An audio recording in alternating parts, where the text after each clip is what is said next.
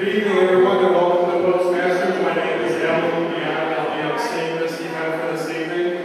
Uh, we have three ongoing events from 8 to 9 p.m.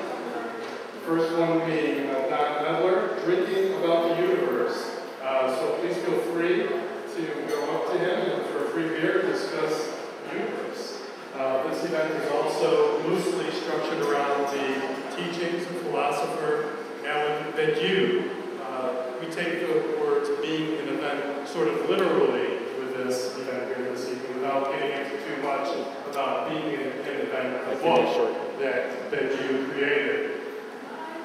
I understand that you have to be pretty good at set theory in order to understand that book are begin. So we're going to keep things simple here, and all I will ask you folks to do is think about performance in a way that uh, includes this notion of adaptability and um, how things interact in the real and in the virtual universes and the spaces in between.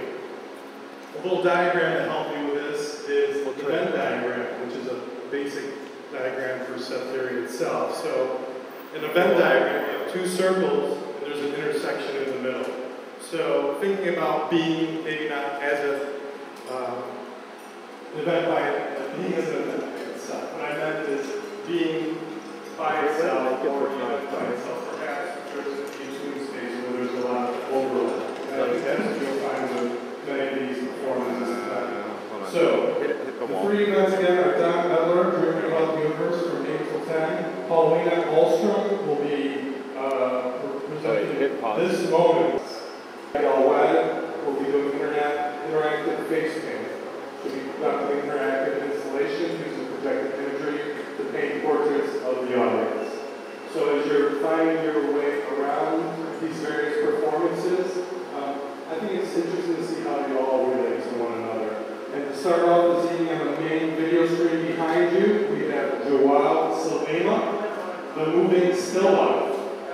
And one word that comes to mind here with this is the sublime, and how taking basic movements and finding the profound uh, aspects behind these things with regard to being an event is uh, going to be quite the uh, experience for all of you.